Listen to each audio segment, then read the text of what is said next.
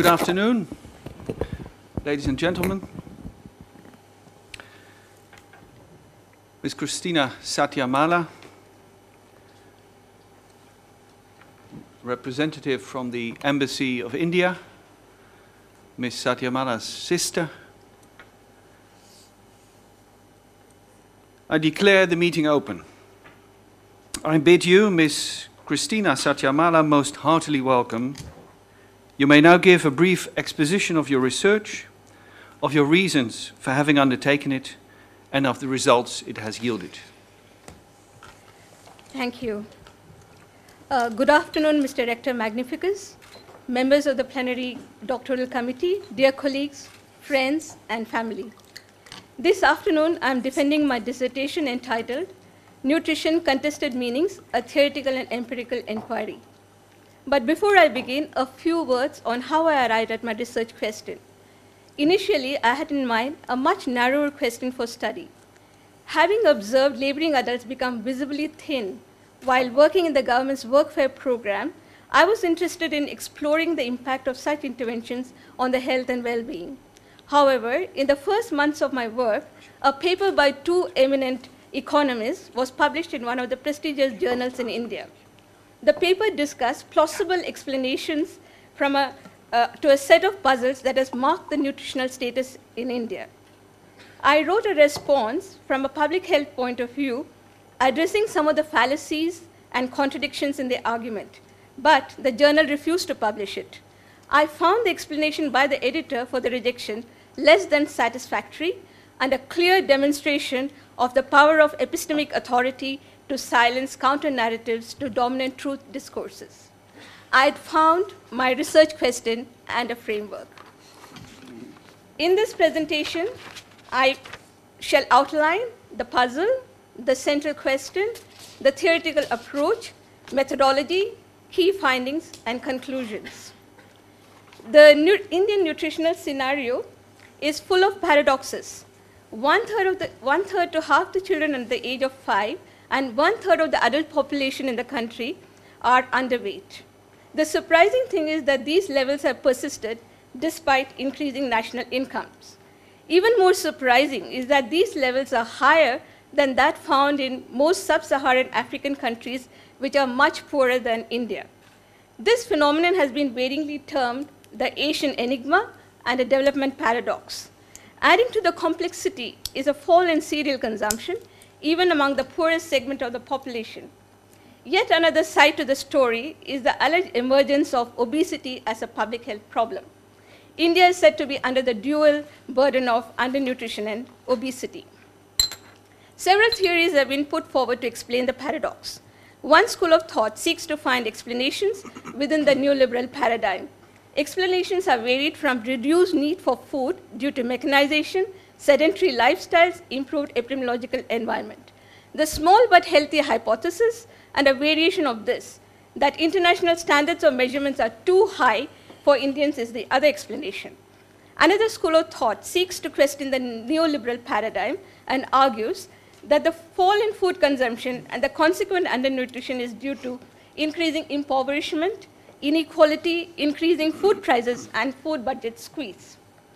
Yet another group that represents a medical establishment argues from a narrow biomedical framework based on risk factor epidemiology.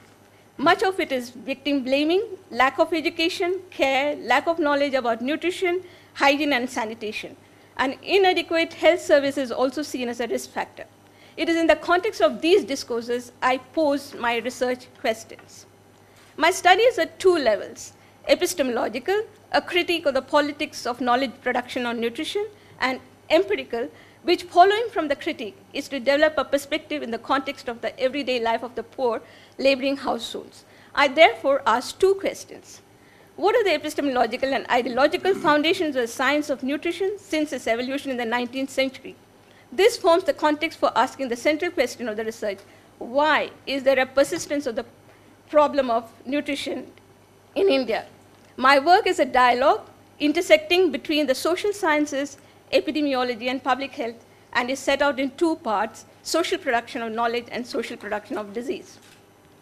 I use the Foucauldian genealogy as the theoretical approach to explore the epistemological question, as it is better suited than the Kuhnian paradigm, which ignores the social context in which knowledge is produced. Using the concepts of descent, that is a history of the past, and emergence, that is a history of the present, I analyze archival materials, both primary and secondary, from the early 1800s till the contemporary period. These have been presented in three chapters. The first of these, Nutrition as a Social Problem, 1800s to early 1900s, describes how food was cast as nutrition with the emergence of chemistry as an independent discipline and the differing trajectories the scientific discourse took in Europe, Britain, and the US due to the particular socio-economic, socio-political context and why some became dominant and others marginalized. The next chapter from early 1900s to 1940s, the interwar years, when nutrition was cast as a public health problem in the, stock, in the context of the stock market collapse in the 1930s with its attendant unemployment and consequent fall in food consumption. Nutrition science was assimilated into modern medicine as a part of its scientification. An ideological shift occurred, and the popular notion that poverty led to hunger was replaced by the notion that wrong eating led to malnutrition. The last chapter in this section extends from 1940s to contemporary period. This period saw the institutionalization of epistemic authority at the international level, with leadership loyal to the Western powers and universalizing notions of science. To justify undernourished bodies that could not be invisibilized, a small but healthy hypothesis was put forward, and bare survival requirements formed the basis for calculating minimum wages. Thus, from the time when food was deconstructed into its chemical components, the science of nutrition has been a contested territory. At every point, there have been competing discourses, and the one that took precedence did so not because it was superior, but due to patronage from dominant forces, creating truth claims favorable for capital accumulation.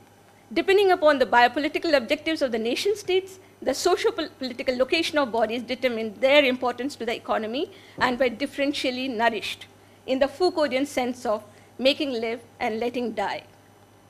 To explore the second question of social production of disease, I use the framework ecosocial theory, which views diseases and well-being as biological expressions of social relations and asks who or what is responsible for the pattern of undernutrition in the present, past, and changing inequalities the framework was expanded to include explicit political economy, political ecology, and psychosocial perspectives.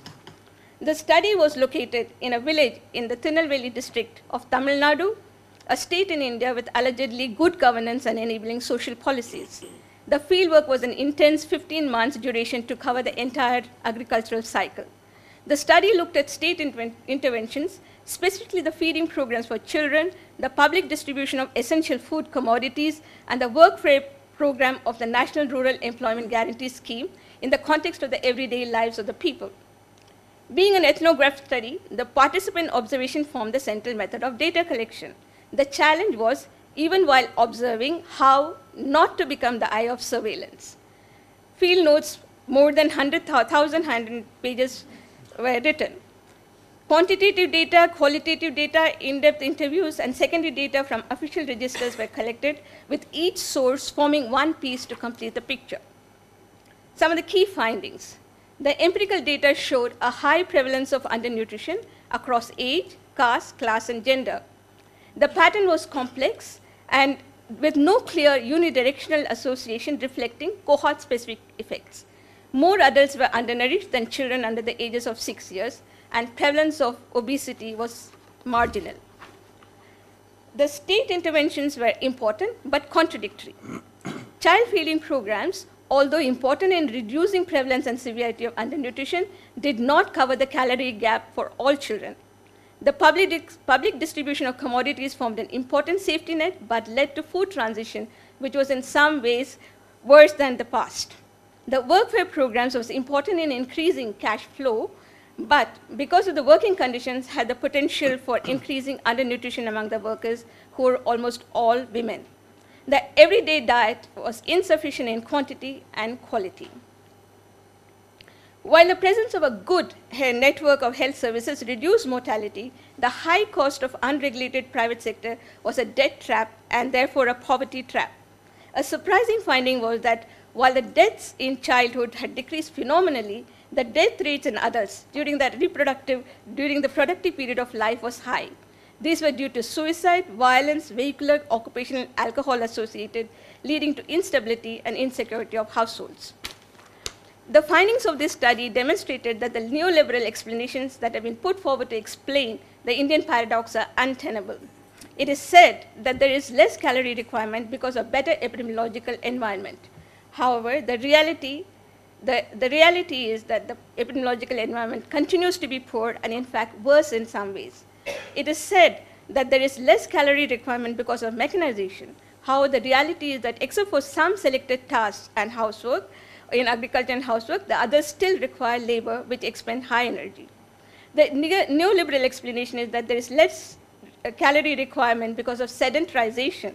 However, this study showed that sedentary workers were as undernourished as those involved in heavy work in agriculture. It is said that it is said that standards and measurements are inappropriate. How this study showed that it is appropriate for comparing populations and BMI and height and weight each have their own place in assessing nutrition. Based on the empirical data, to answer the question why there is undernutrition, childcare is not a priority in the context of survival needs of the poor household. State interventions have been formulated on decontextualized biomedical model. State interventions provide selective care in the manner of making live and letting die. Combining, this, eh, combining these two questions, so the epistemological question and the empirical finding, I conclude nutrition theories have shown an unchanging discourse from the time food was cast as nutrition. The undernutrition continues to be a consequence of depleting bodies whose labor subsidizes capital and market. Finally, moving forward, the broad recommendations from this study are Care of the specific subgroups of population needs to be expanded by care of all the individuals in the household and social groups with due recognitions to equalities, inequalities within and outside. State interventions need to be life affirming rather than life annihilating.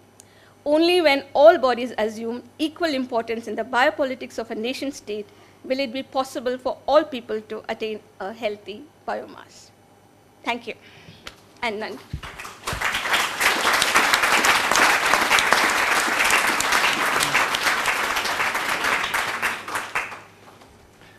Thank you very much.